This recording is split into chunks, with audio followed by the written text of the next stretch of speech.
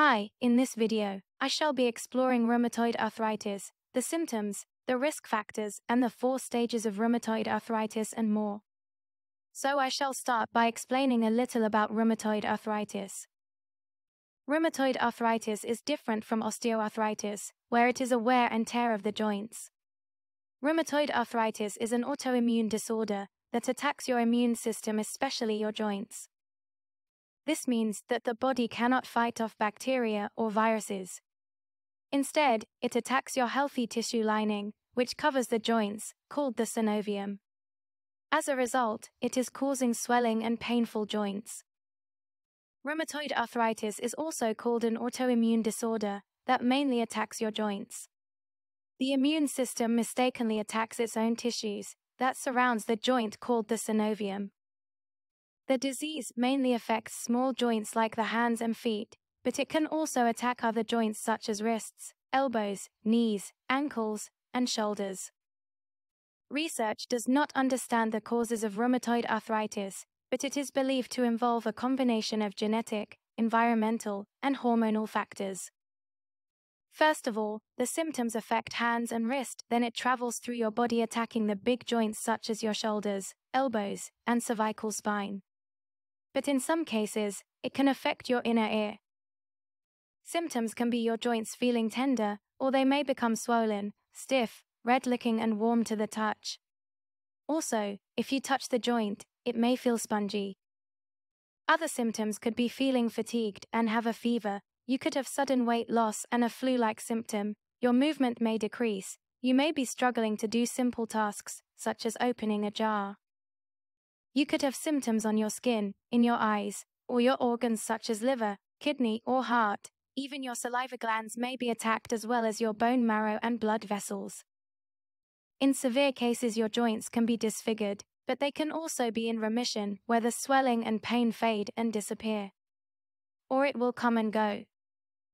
There are many risk factors that goes with rheumatoid arthritis such as hereditary or your lifestyle. For example, if you smoke, you should stop as this is the most significant health risk factor. You are more likely to develop this disease if you are a woman. Another risk factor is if you are overweight or obese. This is because you are putting more pressure on your body. If your rheumatoid arthritis becomes chronic, you may develop nodules, which are firm bumps of tissue that occur around the pressure points.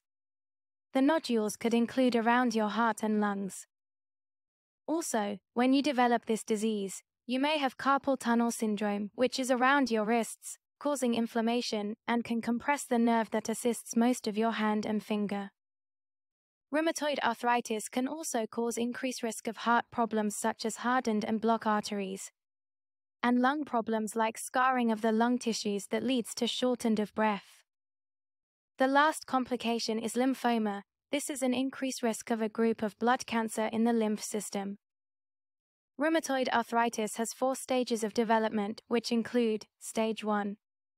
This is the early stage. You will feel joint pain, stiffness, swelling. The joint tissue or lining called synovium is inflamed.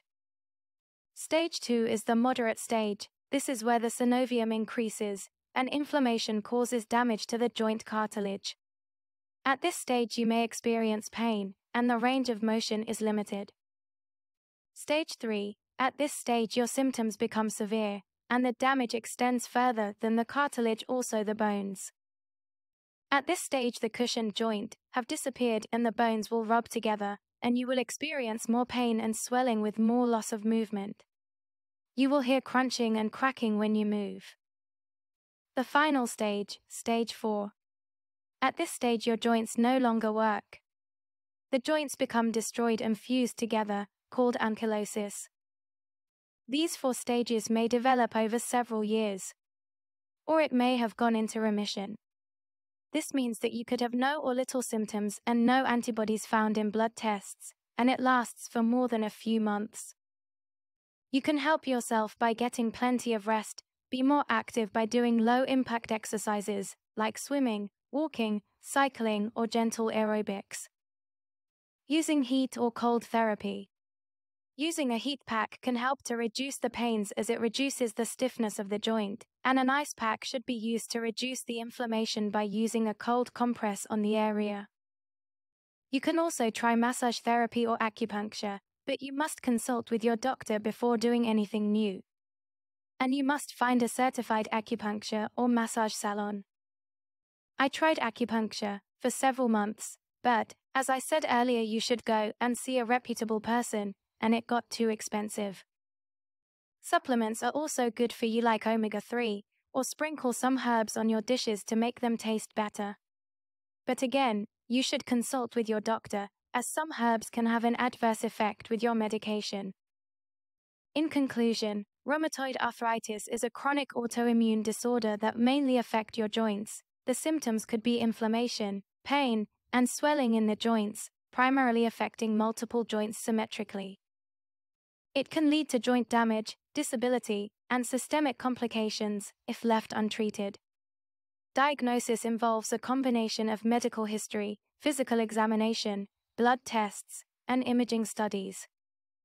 The treatment aims to reduce inflammation, relieve pain, and prevent joint damage through medications, physical therapy, lifestyle modifications, and sometimes surgery. Thanks for watching this video. If you found it helpful then please click the subscribe button and ring the bell to follow my channel. If you have any question, please leave a comment below. I am not a medical professional, and this video is for information only. If you have any worries, you should consult your doctor. I hope this video has helped, and good luck.